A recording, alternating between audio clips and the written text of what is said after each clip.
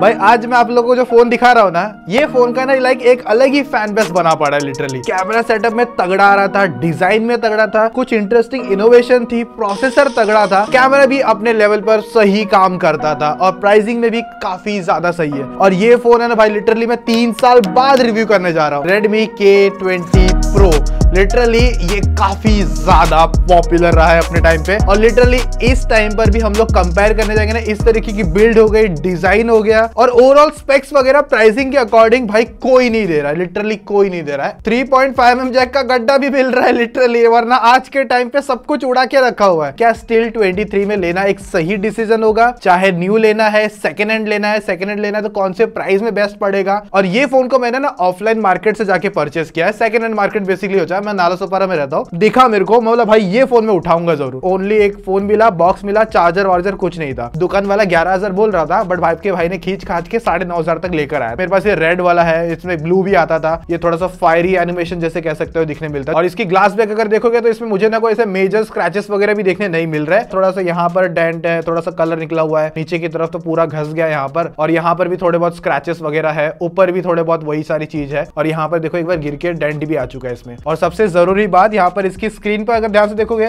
तो कोई ऐसे मेजर स्क्रैचेस नहीं है लिटरली मेरे को तो ऐसी कंडीशन में मिला। और सबसे ज़्यादा इंटरेस्टिंग बात की इसका फ्रंट कैमरा काम कर रहा है कि नहीं? चालू, ए, आ गया। भाई कैमरा बाहर। वापस अंदर और बाहर। और इसके साथ में जो साइड में लाइट है ना, वो भी एकदम प्रॉपर तरीके से वर्क कर रही है। अंदर, बाहर और बाहर, अंदर, सब कुछ होएगा। थोड़ा सा प्रेशर मार के अंदर डालता हूँ। नहीं जा रहा यार। लिटरली नहीं जा रहा, बोलता नहीं जाऊँगा। और इसका जो फॉल्ट डिटेक्शन वाला पार्ट होता था ना, वो भी देखते हैं, दिखेगा कि नहीं। हाँ चला गया, अंदर ही चला गया। और ये वापस ट्राई करते हैं। ठीक है? यहाँ से गिरा तो। हाँ चले जाता है। बहुत फास्ट से अंदर चला गया। और ये तो न्यू भी नहीं है यार लिटरली पता नहीं कितने हाथों से लगकर मेरे हाथ में वापस आया हुआ होगा। तो मैंने ना ऑफलाइन मार्केट में ना बहुत लोगों को देखा है फ़ोन खरीदते हुए। वो लोग देखते हैं कि भाई रैम कितना जीबी है फ़ोटो हम लोग खींचते अच्छी आती है कि नहीं आती है three point five M jack है कि नहीं, देखने में अच्छा लग रहा है कि नहीं। लोकल मार्केट में लोगों को ये मतलब नहीं होता कि कौन सा एसओसी है, क्या है, क्या नहीं है, वो कुछ मतलब नहीं है। और इसमें बहुत ज़्यादा इंटरेस्टिंग बात है कि इसका जो फ्रेम है ना भाई, वो एल्यूमिनियम फ्रेम आता है। और ना आज के टाइम पे तीस तीस हज़ार के फ़ोन में भी मैं बोलूँ ना, जैसे कि रेडमी ट्वेल्व प्रो प्लस हो गया रियलमी टेन प्रो प्लस हो गया, भाई प्लास्टिक ही फ्रेम देते हैं। हाँ एक ज़रूरी बात है कि इन डिस्प्ले फिंगरप्रिंट स्कैनर भी दे रहा है रेडमी इस प्राइस के अंदर। मतलब पहले दिया करते थे बट अभी वहीं उनके कुछ फ़ोन देख लोगे ना रेडमी की ट्वेल्व सीरीज़ ही तो भाई साइड माउंटेड फिंगरप्रिंट स्कैनर आ रहे हैं। तो आप लोग देख रहे हो कि तीन साल में मार्केट मेरे को नहीं लगता ऊपर गया है, खास करके रेडमी के मामले में। कॉस्ट कटिंग करके पीछे आ गए। ओवरऑल एकदम परफेक्ट साइज़ का फ़ोन है। मेरा तो पर्सनली फेवरेट है, कह सकते हो। स्नैपड्रैगन 855 वाला प्रोसेसर आता है और यूएफएस 2.1 की स्टोरेज इसके अंदर आती थी। एंटू बेंचमार्क आज के टाइम पे मैंने इसे ट्राई आउट करके देखे भाई। और literally five lakh twenty thousand plus का स्कोर इसने टच करा है। बहुत ज़्यादा अच्छे स्कोर है। इस प्राइस में ध्यान रखते हुए मैं तीस हज़ार की बात नहीं कर रहा हूँ। अभी एट्टी सेवन परसेंट का सीपी थॉटल स्कोर आता है भाई। उसके बाद में मैक्स जिप स्कोर हो गया वन नाइनटी वन लैक्स है। और एवरेज भी वन सेवेंटी सिक्स है भाई, जो काफ़ी ज़्यादा अच्छे निकल कर आते हैं। और मैंने इसे नॉर्मल इन्वायरमेंट में ही चेक करा है। पहले बता देता हूँ, ऐसे कोई ठंडा वंडा रख नहीं कह रहा है। जो इसकी स्टोरेज के भी रीड एंड राइट के स्कोर हो गए, वो भी उसके हिसाब से सही आते हैं। आज के टाइम पे बारह से तेरह हज़ार वाले नीचे फ़ोन हो गए ना परफॉर्मेंस वो फ़ोन नहीं दे सकते जितना ये उससे ज़्यादा दे सकता है। आपके डेली टास्क एप्लीकेशन आराम से चल जाएँगे, बिना किसी टेंशन आराम से मक्खन मस्त स्मूथ तरीके से चला सकते हो। और हाँ दोस्तों, अगर ये डिटेल वीडियो जो हम लोग ऐसी वीडियो करते हैं ना, आपको पसंद आती है ना तो लाइक शेयर सब्सक्राइब कर दिया करो। और साथ में इस वीडियो पे हम लोग क्या कर रहे हैं 400 कमेंट का लाइक रखते हैं। 400 के 400 कमेंट से मस्त मैं हार्ट दूँगा तो फटाफट अपने कमेंट अपने प्यारे प्यारे थॉट्स दे देना भाई। और हाँ आजकल नया स्कैम भी चालू है। कमेंट के अंदर मेरा ही सेम आईडी बना के आप लोगों को बोला जाएगा कि प्राइस क्लेम कर लो गिव अवे जीत चुके हैं नॉल वगैरह। सब पागल लोग बना रहे हैं, पागल एक नंबर के। मैं अगर कमेंट करूँगा तो मेरे कमेंट के आगे एक वेरिफिकेशन टिक होगा, जिससे आप पता चल जाए कि मैंने भाई ओरिजिनल अकाउंट ने ही कमेंट करा है। और रही बात गेमिंग परफॉर्मेंस को लेकर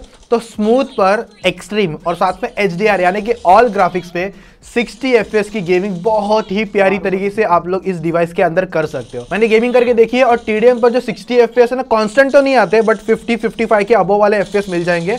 और फिर उसके बाद में इरांगल हो गए वहाँ पर भी थोड़े बहुत नीचे एफ़ चले जाते हैं।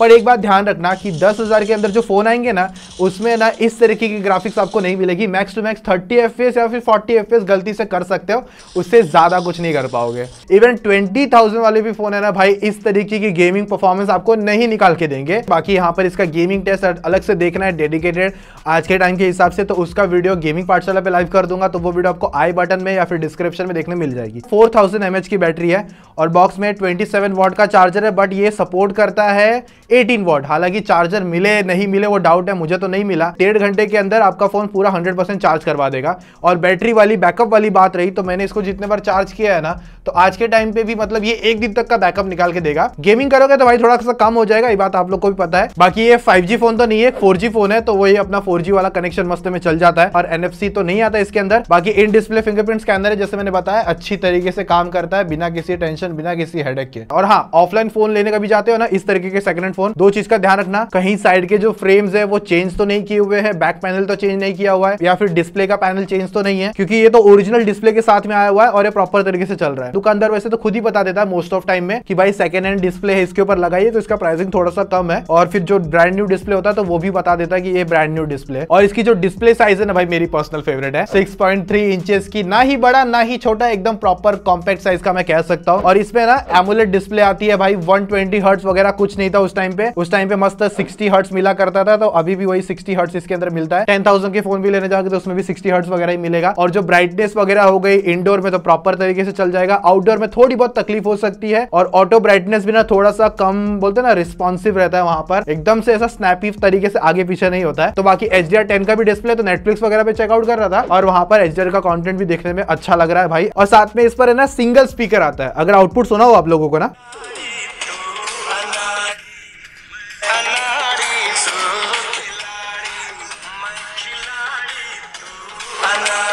One more remix bro in the house YouTube पे सिंगल स्पीकर के हिसाब से बोलूँगा काफ़ी अच्छा है। डुअल तो नहीं आता था, अभी नहीं आता बट एक टाइम पे आपको 3.5 पॉइंट mm जैक भी मिल जाता है। तो कुछ तो खोना था, कुछ मिल चुका है। और रही बात सॉफ्टवेयर वगैरह को लेकर है ना तो यहाँ पर हमें MIUI 12.5 मिलता है और ये एंड्रॉइड 11 पे वर्क कर रहा है। और हाँ इसमें एंड्रॉइड 12 का सपोर्ट अपडेट वगैरह कुछ नहीं आया है। और लास्ट अपडेट भी जो आई थी ना इसके अंदर जून 21 को, और उसके बाद में कोई ऐसा सिक्योरिटी पैचेस वगैरह लेटेस्ट तो नहीं आए। तो ये फ़ोन है ना मतलब लाइक बस इलेवन पर अटक के रह गया। और जो मैं बोलूँगा बोलूँगा इसके लिए भाई बहुत पॉजिटिव चीज़ है अपडेट नहीं आना भी, बताऊँ क्यों? क्योंकि पता है ना भाई पोको के साथ क्या कांड हुआ था? बहुत लोगों को पता होगा, मुझे बहुत ज़्यादा बोलने की ज़रूरत नहीं होगी। मोस्ट ऑफ़ क्या हो रहा था कि उसके अंदर ना कैमरा डेड हो गया फ़ोन डेड हो गया सॉफ्टवेयर अपडेट्स के बाद में हो रहे थे इश्यूज़ तो ये तो अपडेट ही नहीं देगा तो ये कहाँ बंद होने वाला है भाई? ये तो मक्खन चलेगा आपका तो चला लो। और इसकी जो हैप्टिक्स है ना भाई, वो ऐसा घर घर वाली आती है मेरे हिसाब से तो प्रीमियम तो कम लगती है अभी।